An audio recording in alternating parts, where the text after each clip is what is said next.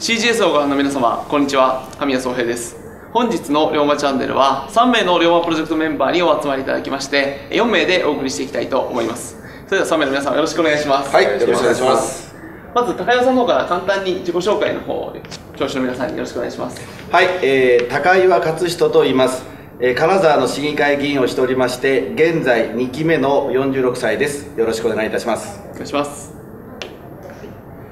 えー倉掛正弘と言います、えー大分市議会議員をやっております、えー前龍馬プロジェクトのお幹事長を務めておりました。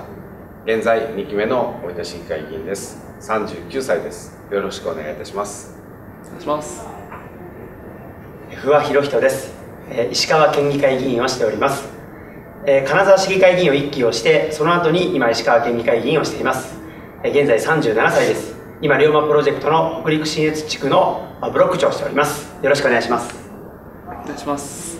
まあ、あのここにいるのはたまたまですけども、えー今日はあ自民党のメンバーが、あうん。それ揃っているということで、まあ、別に意図的に自民党で揃えたわけではないんですが、まあ、この超党派でヨマプロジェクトという活動を、まあ、4年間やっておるわけですけども、まあ、それぞれ皆さんにとっての龍馬プロジェクトとは何かというテーマで今日少し、えーお話をお伺いしたいんですが、えーまずトップバッターとしてこう高岩さんにとっての龍馬プロジェクトとは何かっていうことを少し、皆さんにも分かりやすくお話しいただければと思います。一言で言うなら、その研鑽の場というか、自分を高める場なんですね。というのは、この議員のせいあの議員活動というのは、この日々の生活の中でモチベーションを保つということが結構大変なんですよ。というのは、それぞれ議員にいろんな思いとかあやりたいことをそれぞれにみんなあってでそれが同じベクトルに向いてないことが多いので、えーなかなか話し合いの中でもその自分の意見が通らないということも多かったり、えー議員としてよりも人間としてこの人どうなんやろうというような、まあ、そういう中での仕事をしなければならないことも結構あったりしまして、まあ、政治は妥協の産物だという人もいますけれどもやはりどうせ、えー市民の負託を得て、えー議員にをならしていただいていますから極力妥協のない信念に沿った政治をやりたいというふうに思うんですけれどもこれがなかなかあやるにはそのモチベーションを常に保っておかなければならないということが大切なんですけれどもこれが地元にいますとまあなかなかあ日々の生活に流されて、えー手につかないというようなことも多いんですけれどもこの龍馬プロジェクトに来ますとそれぞれの地域で同じように頑張っている人たちがたくさんいまして彼らと話をしたり彼らと共に勉強することによって自分を磨くそして、えー自分のモチベーションを高めることができるのでそれを持ってまた地元に行って、えー活動ができるというような僕にとってはそういうモチベーションを高め研鑽の場というのが龍馬プロジェクトだと思ってますはい、ありがとうございます。倉木さんはどうでしょうか？はい、えー私にとってもあの同じように、えー自らの、えー今の立ち位置それから自分の志そして政治家として、えー必要なものっていうのを確認するようなあ場所ですね、えー私にとってはそうなんですが最近あの思うようになってきたのはあの表現は悪いかもしれないですけどこの日本っていう国のあのある意味ワクチンというか抗体というかね。はい。あのもともと日本が持ってるんですがえー今病にどんどんどんどん侵されてると。でその抗体が今龍馬プロジェクトメンバーではないのかなと、えーこの抗体を強めてね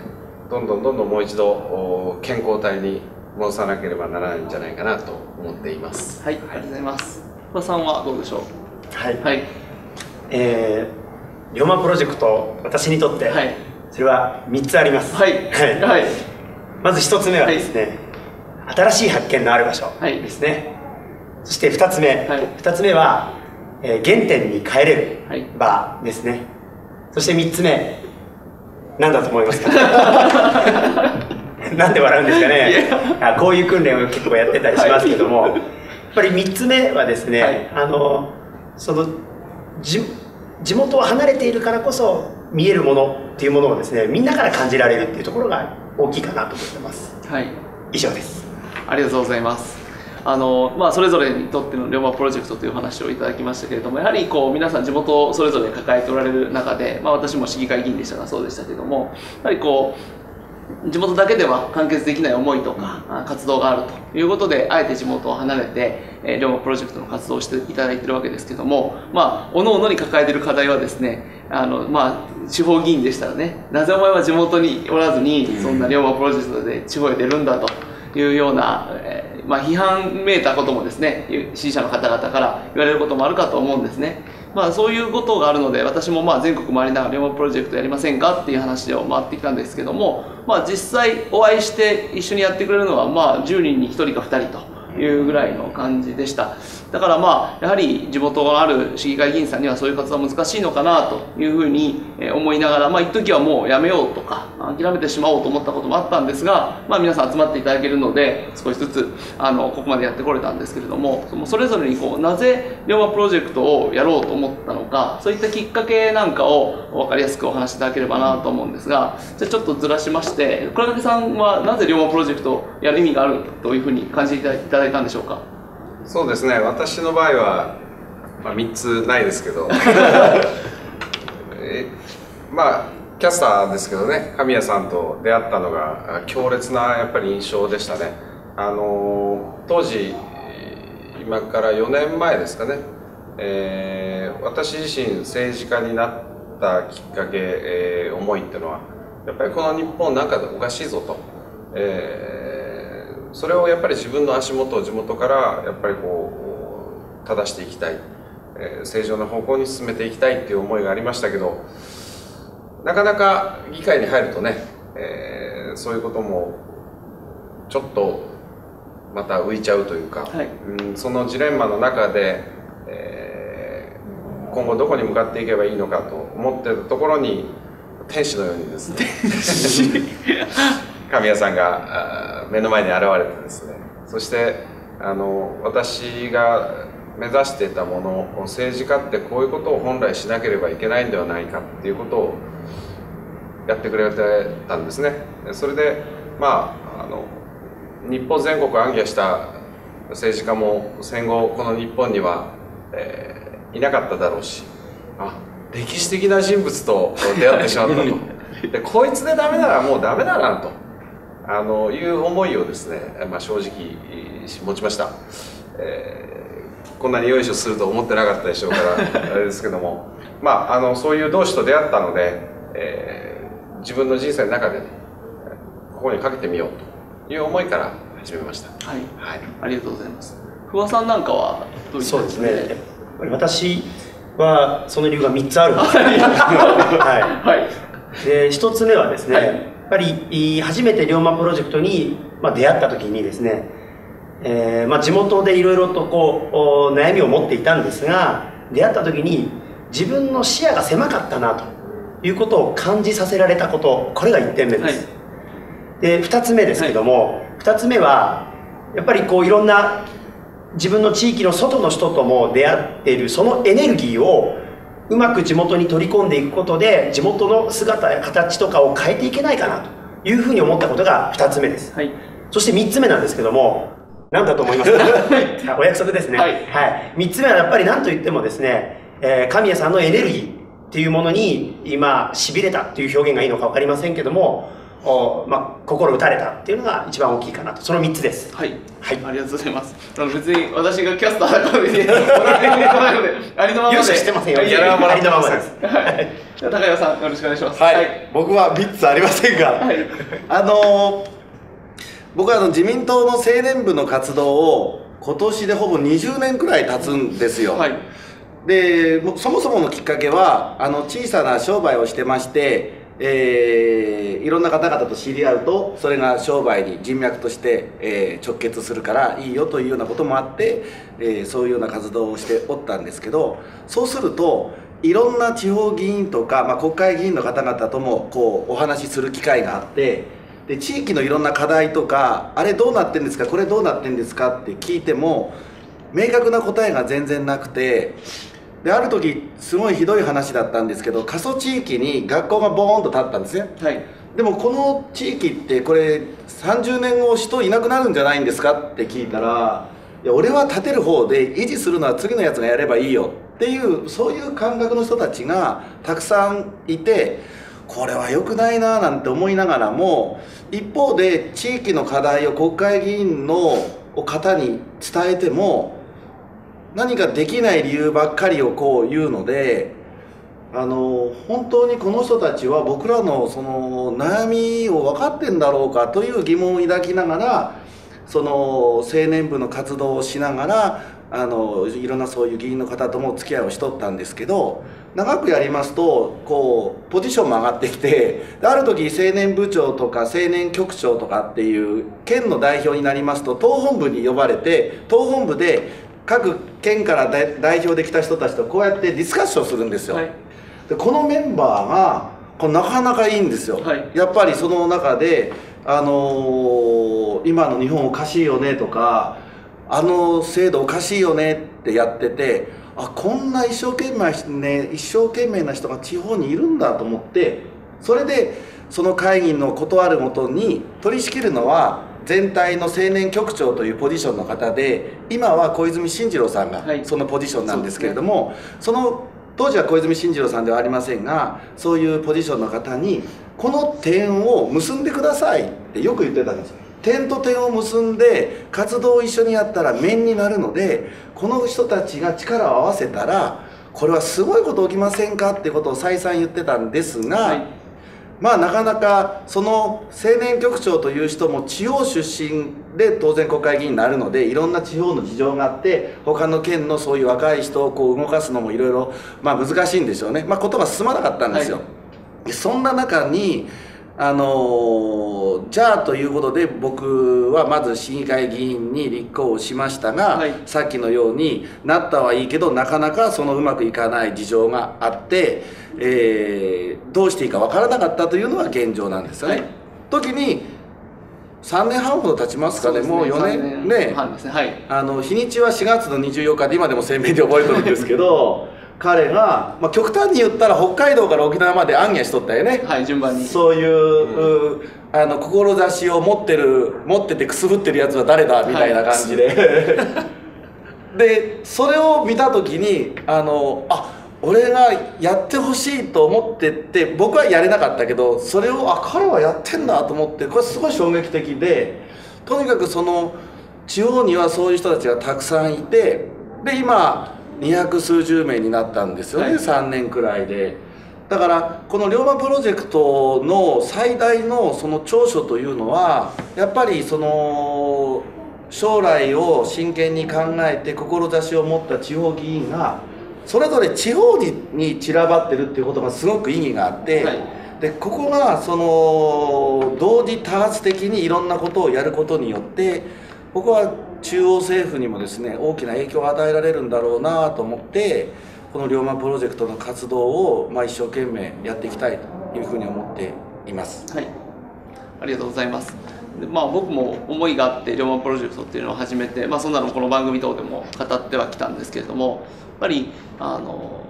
なかなか国の将来を思うとね不安なことが多くてでも僕ら政治家一人なんて非常にちっぽけな存在ですからあの、まあ、選挙が落ちればた、ね、今の僕みたいにただの人になってしまいますし、まあ、そういった中で自分がやっていくことを積み重ねていって成果につなげていくにはやはり仲間が必要だなと思うんですね。けれども政治世界ってやっぱりあの選挙もありますしあの多数決もありますしこう駆け引きとか騙し合いが多くてですね非常にこうがっかりすることがあると。でそういうがっかりする世界の中で自分の人生をかけてどこまでやれるかなということを考えるとやっぱり同じ思いの人たちでチームを組んで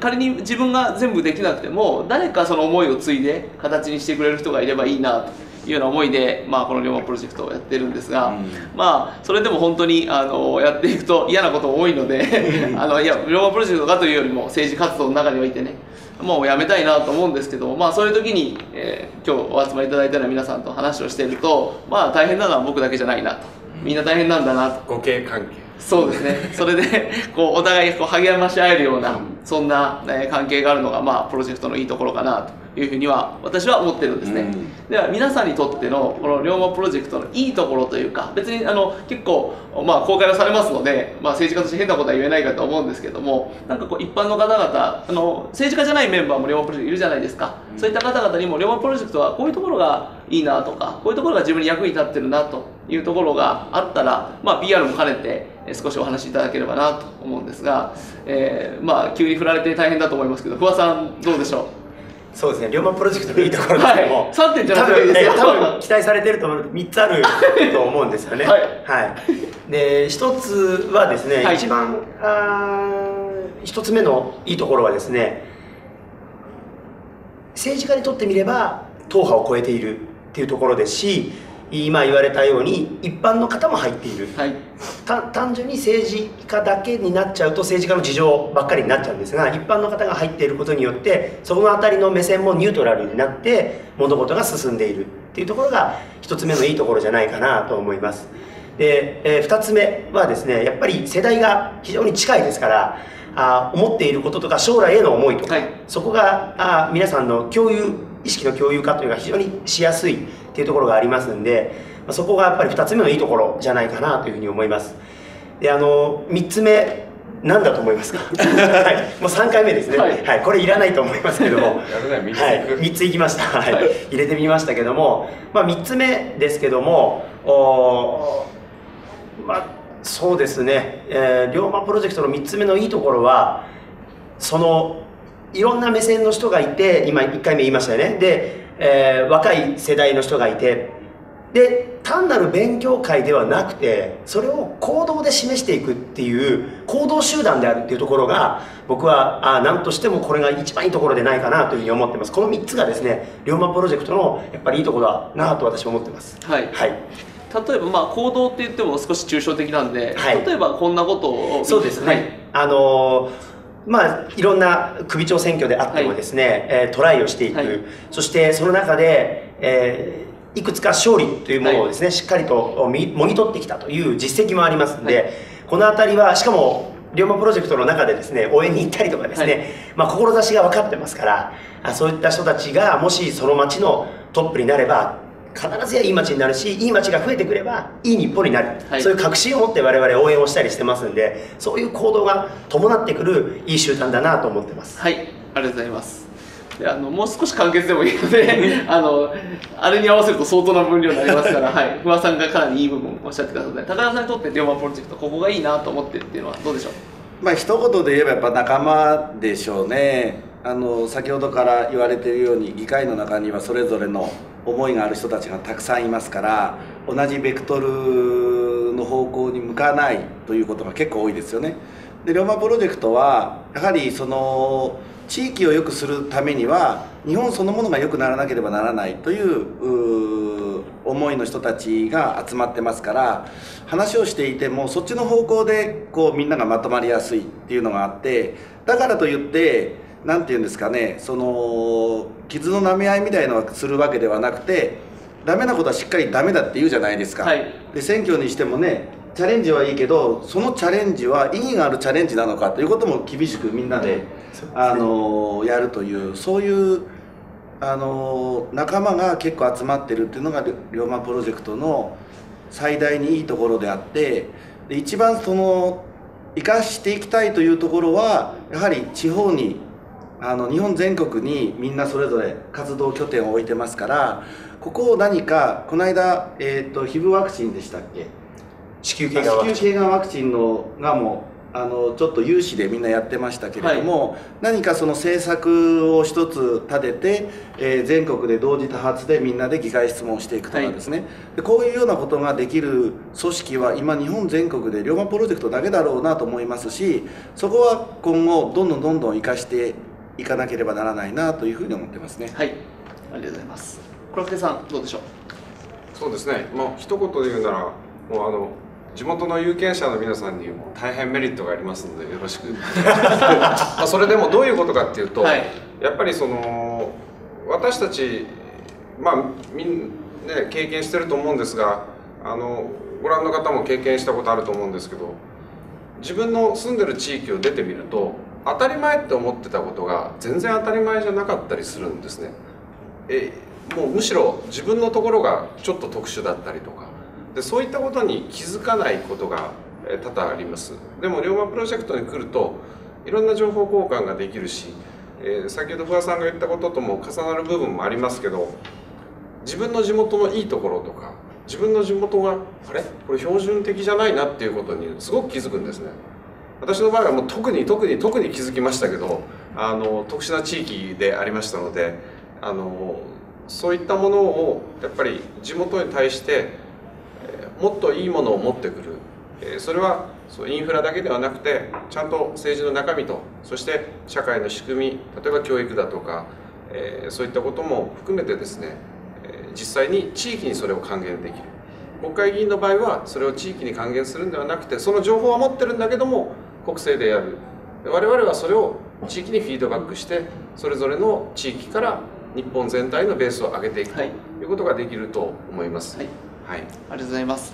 あのいろいろいい点を言っていただいて、まあ、私も恐縮です。一つ二つ言わせていただくと自分のリミッターがどんどん外れていくっていうメリットがありましてね。あの私もまあ29で市議会議員になって、まあまあ、言い方悪いとたかが小さな一自治体の市議会議員ですよ。でもそういうメンバーで集まっているうちにこうやって一緒に肩を並べていた人がですね急に知事になったり、国会議員になったり、市長になったりしていくのをもう本当に間近でこの3年間たくさん見てきましたよね。すね。するとまあ最初は小さな一人であっても頑張って努力して一生懸命政策を作って思いを訴えていけばこんなちっぽけな自分たちでもそしたら何十万の町を預かる市長になり何百人何百万人の、えー、人の生活を預かる知事になったりですね。そういうことは頑張ればできるんだなと。いうふうに思えるようになった。最初はそんな自分には無理だというふうに思いながら、まあ、その小さい枠の中で何ができるだろうっていうリミッターを自分でかけてたんですけどそれがどんどんどんどん外れていってやればできるしあいつもやったんなら俺もどっかで何かやらないとという思いになれたというのが僕が一番大きなメリットでまあそれであの勢い余って国政に出てですね まあ今はこうやって落選をしてるわけなんですがでもこれには全く後悔はなくてですね、うん、まあ一回ダメでもまた次と。うんような思いで、まあ、頑張っていきますしあともう一つこれはまあちょっとふざけた話なんですけど、まあ、全国ずっと回ってこうやって仲間が全国に散らばっているので僕の場合仕事プライベート関わらずですねどこに行っても遊んでくれる人がいると。それは大きいね。ね。いいね。なんか傷を舐め合うね。いやいや傷を舐め合うじゃないですけど金沢に行けばね金沢のいろんなところ案内してもらって美味しいところ連れて行ったり、まあ、九州に行けばねみんなでこう集まってそこでまた飲んだりと。いうことでなんかこうまあ JC なんかも、まあ、たまたまここは全員青年会議所のメンバーでもありますけれども JC なんかでもまあそういうことってあるのかもしれませんが、うん、まあやっぱり龍馬プロジェクトでできた縁って深いのでなんかそういう人たちが仲間が全国にいてあのいろんなつながりの中でこれはまあ一緒の付き合いになると思うんですね、うん、うん、政治家であろうがなかろうが別にそこは僕ら線引きませんから。まあ、そういう仲間ができて、まあ、どこ行っても遊んでくれる人がいるというのは、非常にこう人生の宝物が手に入ったななんて思いながらやって、夢が一緒やしね。そうですね、うん、うん、こう遊ぶだけ飲むだけではきっとそこまで満たされないと思うんですが、はい、やっぱり夢が夢というか志が一緒なのであのそれがまたプラスに次の日からのエネルギーにつながりますよね。はいがとうございます。まあ、あのこういった、まあ、私もちょっと喋りすぎましたけれどもあのこういう思いでやっているレモンプロジェクトでして、まあ、それぞれ、えーまあ、週はちょっと変わるかもしれませんが次回以降で皆さんの地元の活動とかそれぞれ頑張っていることなんかも聞いていきたいと思いますのでまた今後とも龍馬チャンネルご協力よろしくお願いします。はい、よろしくお願いします。ありがとうございました。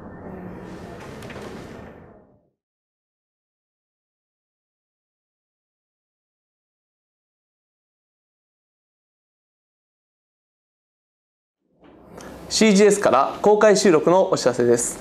次回の公開収録は9月8日日曜日午後4時から6時半まで学び場333にて行います。今回からはなんと新番組の公開収録になります。スピーカーは和也チャンネルでおなじみの和也さん。番組タイトルは「よみがえれ終身」ということで江戸の時代から行われてきた日本人の教育これについて和也さんが分かりやすく解説するという番組が新たに始まります。その第1回目の収録を公開で行いたいと思いますので9月8日お時間の許す方は学びは333にお越しください。よろしくお願いします。